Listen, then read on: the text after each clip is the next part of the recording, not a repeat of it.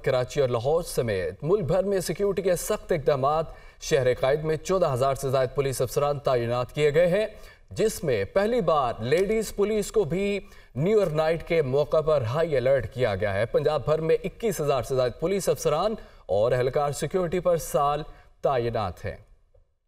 इसी हवाले से मजीद जानते हैं, कराची से हमारे साथ मौजूद होंगे बिलाल नसीर और लाहौर से हमें ज्वाइन करेंगे, हम देंगे हमजा खुर्शीद। सबसे पहले रुक कर लेते हैं कराची का, जहाँ पर मौजूद हैं बिलाल नसीर। बिलाल बताएगा कि कराची में सिक्योरिटी के किस तरह के इंतज़ाम देखने में आ रहे हैं?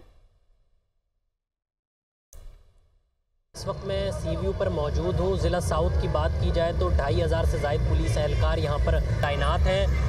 यहाँ पर ट्रैफ़िक पुलिस के भी 400 एहलकार तैनात किए गए हैं। काफ़ी बड़ी तादाद में जो लोगों ने रुख किया है सी व्यू और अतराफ़ का जहाँ पर आ, जो है एसएसपी साउथ जो है और एसएसपी ट्रैफ़िक साउथ जो है वो यहाँ पर सिक्योरिटी को यकीनी बना रहे हैं और आ, सड़कों को क्लियर कराना कराया जा रहा है। जैसे ही बारह बजे थे तो फौरी तौर पर यहाँ पर शहरीों की बड़ी तादाद का जो यहाँ पर रुख किया था काफ़ी ज़्यादा रश हो गया था, लेकिन पुलिस की हमत अमली से तमाम तर सड़कें जो हैं वो क्लियर कराई गई हैं। बारह बजते ही अहकाम पुलिस की जानब से दिए गए थे कि हवाई फायरिंग की रोकथाम की जाएगी, लेकिन शहर के बेशतर इलाकों में हवाई फायरिंग जो है वो की गई है और पुलिस उन तमाम हवाई फायरिंग करने वालों को तलाश भी कर रही है। मजमू तौर पर चौदह हज़ार से जायद पुलिस के जवान और अफसरान जो हैं वो ड्यूटियाँ अंजाम दे रहे हैं। इस वक्त भी कराची पुलिस जो है सड़कों पर मौजूद है। रेंजर्स के जो जवान हैं वो भी मौजूद हैं। अब से कुछ देर पहले डी जी रेंजर्स ने दौरा भी किया है। शारा फैसल सी व्यू क्लिफ्टन और अतराफ़ के इलाकों का और सिक्योरिटी का जायज़ा भी लिया है। इसके साथ साथ Karachi police chief D I G traffic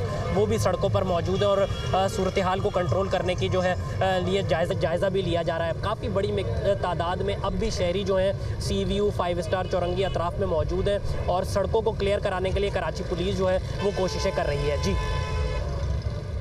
ठीक है। बिलाल आ, हमारे साथ थे दूसरी तरफ़ हमजा खुर्शीद भी हमारे साथ मौजूद है। हमजा बताइएगा किस तरह से जोश देख रहे हैं लोगों का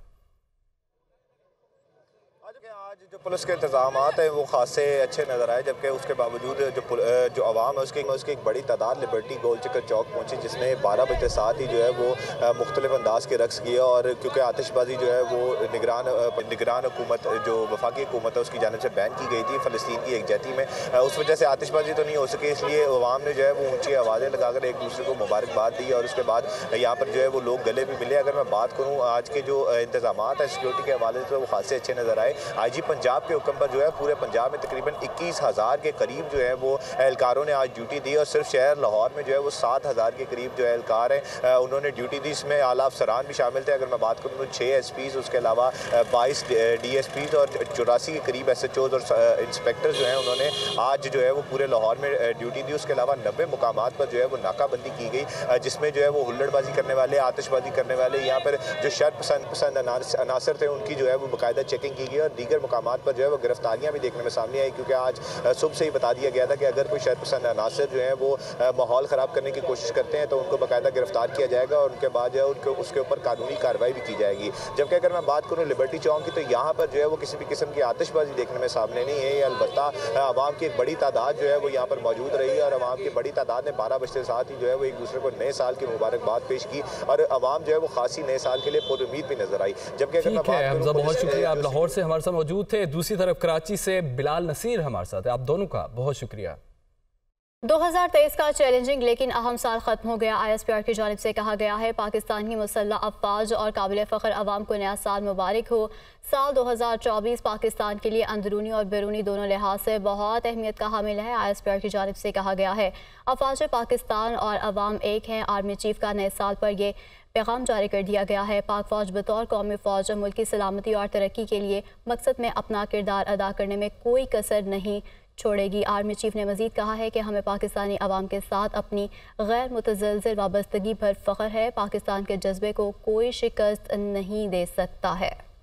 आपको बताएँ इस खबर के हवाले से कि 2023 का चैलेंजिंग लेकिन अहम साल ख़त्म हो चुका है। आई एस पी आर की जानब से कहा गया, पाकिस्तान की मुसल्ह अफवाज और काबिल फ़ख्र अवाम को नया साल मुबारक हो I S P R petrol और डीजल की कीमतों में कोई रद्दबदल नहीं किया गया है। पेट्रोल और डीजल की कीमतें बरकरार रहेंगी। नोटिफिकेशन जारी कर दिया गया है। पेट्रोल की फ़ी कीमत दो सौ सड़सठ रुपये चौंतीस पैसे पर बरकरार रहेगी, जबकि हाई स्पीड डीजल की फ़ी कीमत दो सौ चौहत्तर रुपये इक्कीस पैसे पर बरकरार रहेगी। तो बड़ी खबर आपको देते चलें कि पेट्रोल और डीजल की कीमतों में कोई रद्दोबदल नहीं किया गया।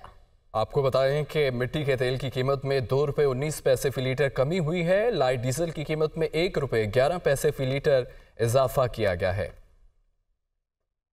दूसरी जानब, कागजात नामजदगी, मंजूर या मुस्तरद होने के फैसलों पर अपीलें आज से दायर हो सकेंगी। अपीलों का अमल तीन जनवरी तक जारी रहेगा। दस जनवरी तक एपलेट टर्मिनल्स में अपीलों पर समात और फैसले होंगे। उम्मीदवारों की हतमी फहरिस्त ग्यारह जनवरी को जारी की जाएगी।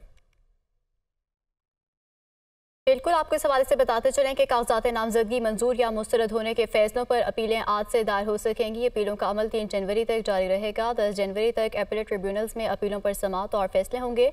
उम्मीदवारों की हतमी फहरिस्त ग्यारह जनवरी को जारी की जाएगी।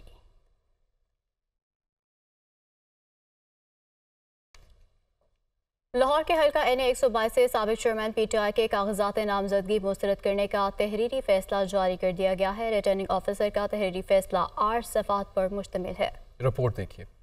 लाहौर के हल्का एन ए एक सौ बाईस से सबक चेयरमैन पी टी आई के कागजात नामजदगी मुस्तरद। रिटर्निंग ऑफिसर ने आठ सफात पर मुश्तमिल तहरीरी फैसला जारी कर दिया। तहरीरी फैसले में कहा गया कि इस्लामाबाद के एडिशनल सेशन जज ने सबक चेयरमैन पी टी आई को सजा सुनाई। सबक चेयरमैन पी टी आई को इखलाकी पस्ती के जुर्म में सजा सुनाई गई सबक चेयरमैन पी टी आई की नाअहली पाँच साल के लिए तहरीरी फैसले के मुताबिक सबक चेयरमैन पी टी आई की नाअहली भी मौत मुअत्तल या कलदम नहीं हुई। सबक चेयरमैन पीटीआई को आइन के आर्टिकल तिरसठ वन के तहत नाअहल किया गया। शिकायत कुनंदा के एतराजा कानूनी है। लिहाजा सबक चेयरमैन पीटीआई के एन एक सौ बाईस ऐसी कागजात नामजदगी मुस्तरद किए जाते हैं। सबक चेयरमैन पीटीआई के खिलाफ सबक एम पी ए मियाँ नसीर अहमद ने एतराजात दायर किए थे, जिसमें एतराज़ उठाया गया कि बानी पीटीआई की तजवीज और तायद कुरंदा एन ए एक सौ बाईस ऐसी नहीं है। बानी P T PTI Toshakhana case में नाअहल हैं लिहाजा वो इलेक्शन में हिस्सा नहीं ले सकते।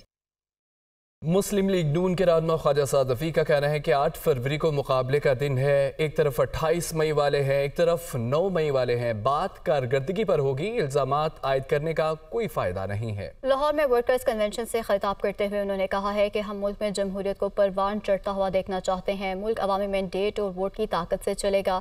हम चाहते हैं कि बल्ला हमारे सामने हो। मुस्लिम लीग नून नहीं चाहती कि बैलेट पेपर पर बल्ले का निशान ना हो।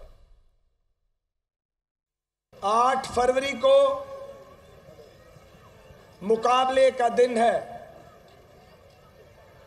मुकाबला है पाकिस्तान की, जदीद पाकिस्तान की तामीर करने वालों में और पाकिस्तान को रिवेयर, उसकी तरक्की को रिवर्स गियर में डालने वालों में। एक तरफ़ 28 मई वाले हैं एक तरफ़ नौ मई वाले हैं। हम बिल्कुल चाहते हैं कि बल्ला हमारे सामने हो। मुस्लिम लीग नून ये बिल्कुल नहीं चाहती कि बैलेट पेपर पर बल्ले का निशान ना हो। अगर अगर, ठहरो ठहरो। अगर बल्ले का निशान लेना है, अपने जो, अपनी फॉल्ट लाइंस ठीक करो। कानूनी तकाजे पूरे करो। ये नहीं हो सकता, तुम कानून का मज़ाक भी उड़ाओ और कानून तुम्हारे लिए मोम की नाक बन जाए। तो दूसरी जानब सरबरा अवामी मुस्लिम लीग शेख रशीद कहते हैं कि एक शख्स की ताजपोशी के लिए तमाम कवानीन और जब्तों का जनाजा निकाला गया, चोरों को लाया गया। मुल्क सियासी तौर पर डूब रहा है, नवाज़ शरीफ और उनके खानदान को लंदन जाने के सिवा कोई रास्ता नहीं मिलेगा। रावलपिंडी में प्रेस कॉन्फ्रेंस करते हुए उन्होंने ये भी कहा कि लोगों को इलेक्शन लड़ने की इजाज़त दी जाए। मीडिया पर सुना कागजात नामजदगी मुस्तरद हो गए। अभी तक आर ने कोई कॉपी नहीं दी। अगर आर ने मेरा जुर्म ना बताया तो कल हाईकोर्ट पेश हो जाऊँगा। लोग कलम दवात के साथ हैं। अवामी मुस्लिम लीग, एन ए छप्पन और सत्तावन में तहादियों की हिमायत से कामयाबी हासिल करेगी। आर ओ ने मुझे कोई कापी नहीं दी कि आप नायल हैं या अहल हैं। है जी? मैंने टीवी पे सुना है कि मैं नाहल हो गया हूँ। मैं हुकाम में बाला से और पाकिस्तान की अजीम लोगों से ये कहना चाहता हूँ कि सारे लोगों को इलेक्शन लड़ने दो। मैं जब रहा हुआ था चालीस दिन का चिल्ला काट के, मैंने अपील की थी कि लोगों की आम माफ़ी कर दो। लोग बहुत गरीब हैं, लोगों के हालात बड़े ख़राब हैं, मेरा बड़ा मज़ाक उड़ाया। पहले भी मैंने तेरह दिन जेल काट के, उस वक्त मेरे कागजात ठीक थे। जो आदमी सत्रह दफ़ा वज़ीर रहा हो, उसके कागजात ठीक हैं। और जब एक ताजपोशी करने के लिए चोर, डाकू और लुटेरा सारे कानूनों को तोड़ने के लिए और जिसका अंगूठा भी एयरपोर्ट पे लगाया जाता है, क्योंकि चोरों का अंगूठा है ना। हाई कोर्ट सुबह जा रहे हैं। हम सुप्रीम कोर्ट जाएँगे। हम अपनी आवाम के पास भी जा सकते हैं। पीएम को भागने का रास्ता नहीं मिलेगा और इस नवाज़ शरीफ खानदान को भी लंदन जाने के अलावा और कोई रास्ता नहीं मिलेगा। तो खबर यह भी है कि पीपल्स पार्टी के रहनमा सईद गनी का यह कहना है कि मुखालफी को इलेक्शन में भारी अक्सरियत से हराएँगे। हम गालम गलोच और गुंडागर्दी की सियासत नहीं चलने देंगे। कराची में मीडिया से गुफ्तु में उन्होंने ये कहा कि इलेक्शन इलेक्शन होता है। ज़ाती दुश्मनी नहीं होती गर्दनों से सरिया निकालना आता है बदमाशी और गुंडागर्दी ख़त्म करेंगे। हमने कराची की खदमत की है इलेक्शन में आवाम हमें ही जितवाएँगे। मैं चैलेंज करता हूँ इन तमाम मुखालफी को। अट्ठासी से मैं अगर काउंट करूँ तो पैंतीस साल बनते हैं। 2023 में हम खड़े हैं। मैं पाँच साल के लिए वज़ीर रहा हूँ। तीस साल M Q M Irfan Marwat या मुस्लिम लीग नून यहाँ से जीती रही है। सब वज़ीर बने हैं। ये तीस साल की अपनी कारकर्दगी लेकर आ जाएँ। हम पाँच साल की लाते हैं। अगर पाँच साल की कारकर्दगी इनसे बेहतर नहीं होगी इनके तीस सालों से तो हम इलेक्शन लड़ना छोड़ देंगे और इनको कहेंगे यहाँ इलेक्शन लड़ो। जाति दुश्मनी नहीं होती है। इलेक्शन दुश्मनी नहीं होती है। इलेक्शन इलेक्शन होता है, आठ फरवरी को होगा, खत्म हो जाएगा। हमने, आपने सबने इस इलाके में रहना है। आप मुझे जानते हैं, मैं आपको जानता हूँ। आप मेरी इज़्ज़त करते हैं, मैं आपकी इज़्ज़त करता हूँ। ये रिश्ता इसी तरह रहना चाहिए। ये ताल्लुक इसी तरह रहना चाहिए। इंतबात की वजह से आपकी गली मोहल्ले में आपस में झगड़े नहीं होने चाहिए। मुतहदा कौमी मूवमेंट और मुस्लिम लीग नून के दरमियान कराची में सीट एडजस्टमेंट पर हतमी फैसला नहीं हो सका है। मामला सुलझाने के लिए दोनों जमातों के मरकजी अहदेदारान की रवा हफ़्ते मुलाकात होगी। कराची से मोहम्मद अशद की रिपोर्ट देखिए।